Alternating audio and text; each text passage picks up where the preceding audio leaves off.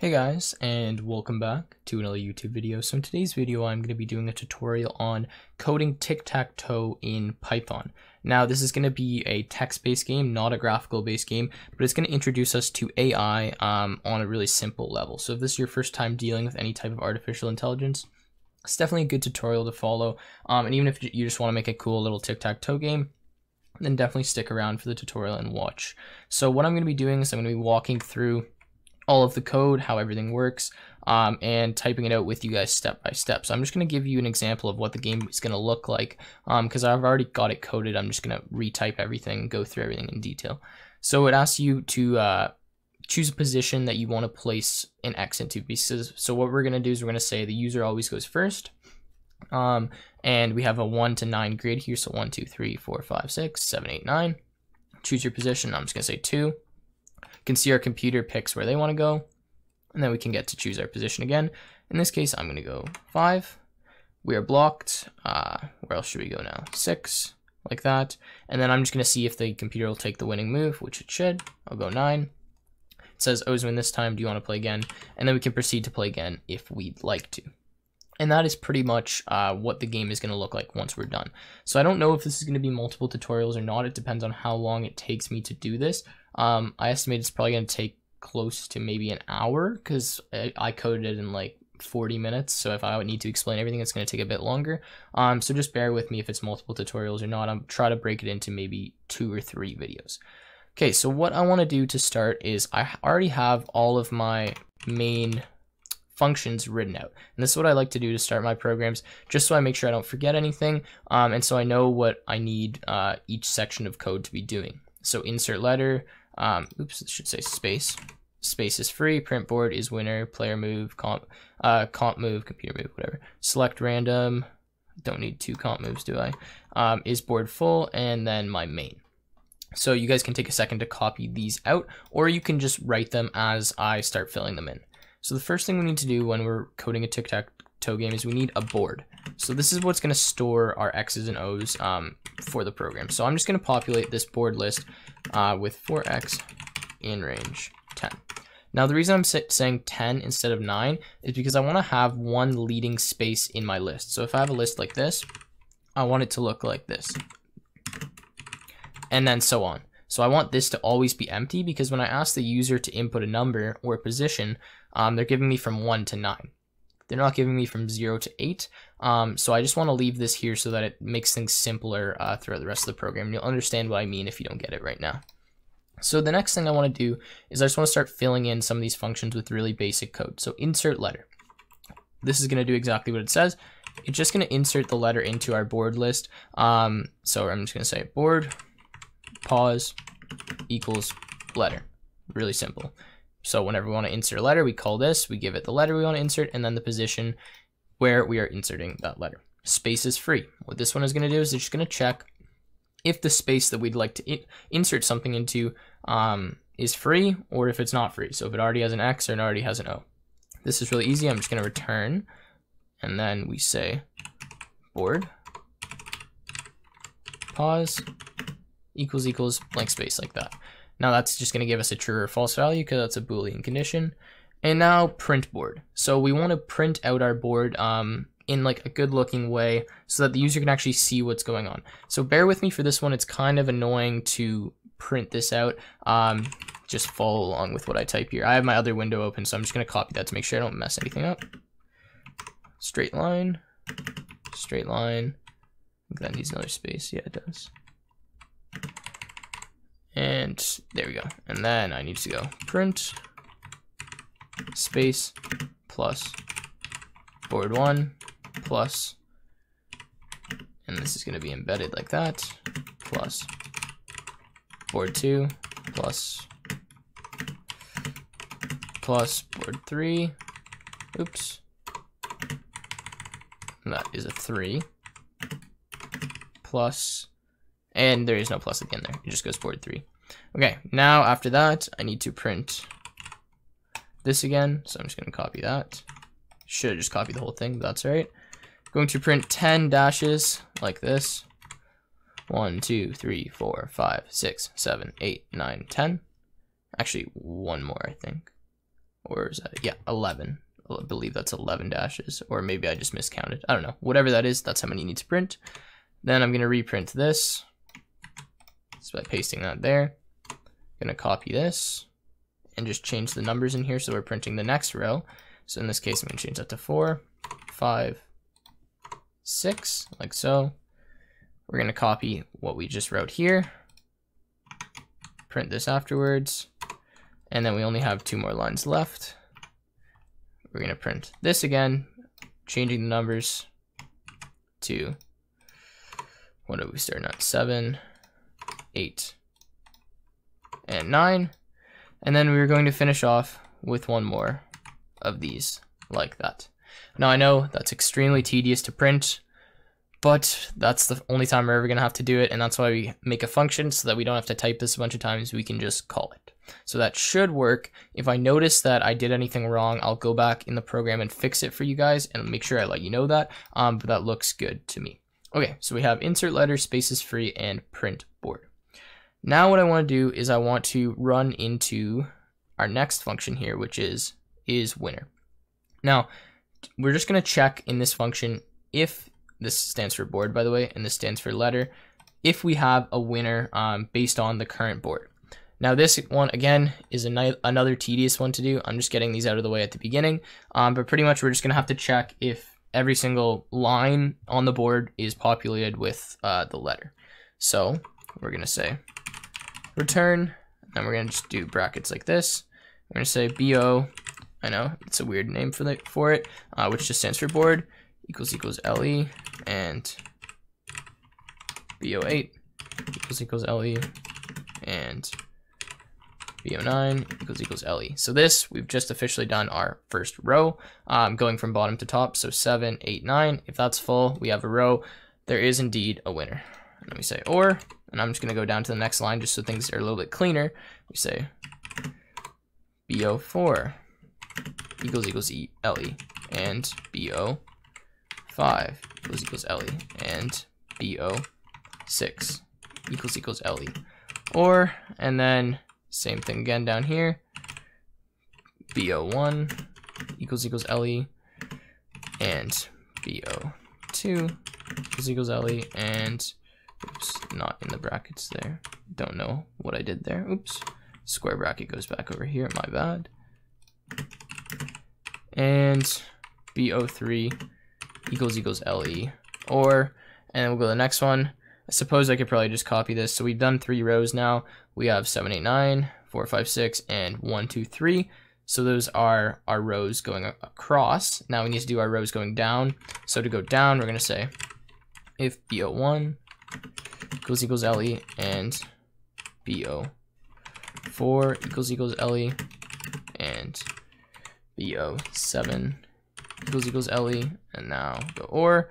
And again, I'm just going to copy this because I think it's going to save some time if I copy it a few times and just change it. So now we need to say 2, 5, and 8, I believe. 5, 8, and then this one is going to be 3, 6, and 9. And now all that is left to do is our diagonals. So I'll copy this one more time. And our diagonals are 1, 5, and 9. And one more time, we have 3, 5, and 7. No, is it 7? Yes, it is 7. Okay. And that should be about right. Now again, if I notice that anything's wrong here, I'm going to change it later, but I think I did everything correctly for that. So that's the tedious stuff out of the way. And now we can move down to our main function. So already we've written insert letter, space is free, print board, and is winner. All of these are really simple. What this is just going to do is it's going to check each position in the grid. So it's going to say 4, which would be second row, first column, and then 5, which would be second row, second column, second row, third column, so on. And if those are all full, then we have a winner. And then it's going to return that as either true or false based on if this condition holds true. So now in our main, this is where we're actually going to be um, executing the functions and the commands. So what we want to do in here is I'm just going to print like a little welcome message. Welcome to tic-tac-toe. exclamation point. You can put whatever else you want in there if you want to explain the game. I'm not going to bother. Just going to go ahead and say welcome to tic-tac-toe. And then after that, we're going to print our board out. And just show them what the board looks like so they can then see like 1, 2, 3, 4, 5, 6, 7, 8, 9, for example. And now I'm going to start my main loop. I'm just going to say while true, like so. And then in here is where we are going to write all of our commands. So I'm actually just going to start filling them in now. And then the functions that we haven't yet written, um, we'll go ahead and we'll write those. So actually instead of true, what I'm going to say here, if, if, if not is board full, and then we're going to pass it board. Because if our board is full, then that means that we tied the game. So we don't want to continue with our while loop. We want to move to the next um, command, which is going to be down here. We're going to say if board, or if is board full, like that, board. Then we're going to print to the screen tie game, like so, because there's no more spaces left to move. So the game is tied, and we can print simply print that out um, at the bottom there. All right, now in here, so if the, the board is not full, we want to execute our commands where we're going to check, um, we're going to do a player move, and then we're going to do a computer move, and we're going to check to see whether each of them win. So in here, I'm going to say if not is winner board with O. And I'll explain this in one second once I've just finished writing it. Then we're going to do a player move like that. Oops. And then we're going to print the board like so. So what this is is going to be doing right now is we're going to check to see if the uh, computer has won. Since our computer is going to be O's and we're going to be X's, we're first going to check. We're going to say if um, we check and we say that the board is full, we have a straight line of O's. Well, there's no point in doing a player move um, because O's already won. So in that case, we write an else here and we're just going to print to the screen. Um, I'm going to say sorry, comma, and then I'm just to do backslash just so I can write my S. O's won this time, like that.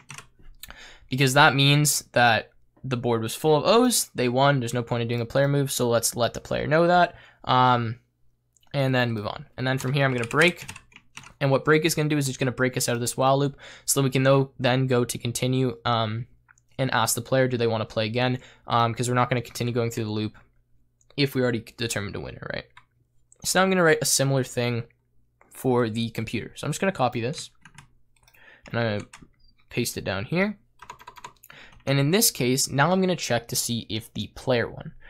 So what happens here is we said if uh, the computer won, we're going to say, sorry, O's won this time. We're going to break the program. In this case, we're going to say if the player won, because they just moved up here, then we're going to say, sorry, X won this time. Or in this case, since it's a player, we'll say X is, X is one this time.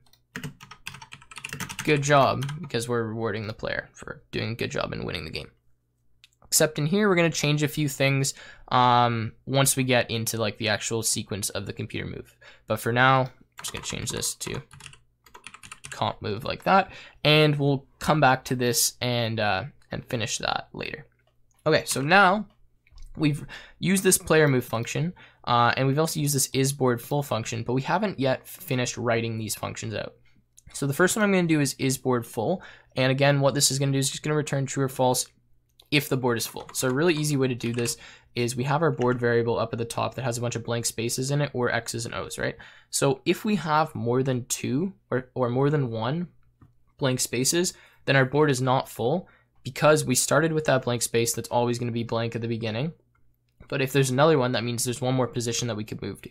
So we're to just say if board dot count blank space like that is greater than one, return true, else, and then we return false. Nice and simple like that. Now you might say, well, if it's that easy, why don't we just type it in here? The whole point is that we never want to repeat code when we're writing. So if I'm even think I'm going to use this two, maybe three times, it just makes sense to put it in a function. Um, it's also easier just to read your code like that. So you say, while not is board full. So if the board is full, like you know exactly what it means, and for someone else reading it, it just makes more sense um, to do that. So now we're gonna go to player move. So we've done this is board full. And in player move, this is where things get a little bit more complicated, but not too bad. So what we want to do here is we want to just make another loop because we don't want to move through the program unless the player gives us a valid answer. So just follow along with me here while run. And I'm just going to say move equals input. I'm going to ask the user where they want to move. So I'm just going to say, please, oops, select a position to place an X like so. And I'm just going to put this in quotation marks and you can just get these by doing a little backslash like that. Um, and then do like a comma, or I'll just put in brackets, 1 to 9, so they know what I'm expecting as a possible answer. Now what I want to do is I'm going to run a try and except statement um, just to make sure that they are giving us a number. Because for example, if the user were to type 8, but they typed it like that, then that would throw an error and we don't want our program to crash. We want to catch that error um, so that we can then move forward with the program, and ask the user again, type another one, type another one until they give us valid input. So I'm just gonna say try, and in here I'm gonna say move equals int move. Because if they try to give us something that's a string, for example, like hello, then obviously you can't int that, so it's just gonna crash and it'll go to our except statement, which I'm going to right there and get into in a second. After that, I wanna make sure that our the move that they type in is within the range. So if, for example, they typed a move like 28, well, what the heck does 28 mean to us? It means nothing. They need to type something between 1 and 9. So to check that, we just say if move is greater than 0 and move is less than 10, then we're good and we'll go to the next uh, check that we need to do. So now that we have valid input, so they've given us a number between 1 and 9, um, it's all good now we need to make sure that where they're moving isn't already occupied. And that's where the is space free um, or space is free function comes in. So again, in here, I'm just going to say if space, oops, is free, and I'll put move in there. Then what we'll do is we're going to say run equals false because now in this case, we no longer need to keep running this input um, because they've given us valid input. The space is free. It's a number between 1 and 9 and we're going to insert it into our table. And remember we did, and our, we'll just say insert letter here, insert letter function that we did at the beginning. Our letter is going to be X because it's a player, and the position is going to be move, where they want it to move, like that. Now, if these things aren't good, what we want to do is we want to um, tell the user what's wrong with their input. So our first else statement is going to be out here, and what it's going to uh, check is, is going to say, if the move was a valid number, but it wasn't in between the range, let's tell them that. Let's say print, please insert, or please type a number within the range, like so, little exclamation point. And then our other else statement was in here, and this one says space is free. We're gonna say, sorry, comma, this space is occupied, like that. Now, we need to do our final uh, exception here, or whatever, print statement. And in this case, we're just going to say, please type a number. Because if we couldn't int it, then we're going to move into the except. And that's because they didn't type a number, we couldn't int it. And that's pretty much grabbing our player move for us. And that's all we really need for the player move function. So now that we've finished that, let's go through and just kind of um, summary what we've done. So we've created a board, uh, we filled it up with a bunch of blank spaces, and then we've made our insert letter function, which is going to insert a letter into our board. We've checked if the space is free by writing space is free function. We have another function that's going to print the board um, so it looks proper on the screen. We have a function that checks if one of our um, players is a winner or not, or if the computer is a winner. We have a function that grabs our player move, make sure that they give us valid input. And then we have, we can see if the board is full. And then in here, we go through the sequence of do a player move, then do a computer move. Um, and we're checking if one of them wins uh, throughout that.